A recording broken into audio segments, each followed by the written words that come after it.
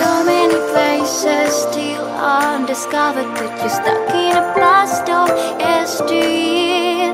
Forget all the problems just for the moment. That is the kind of story you should see.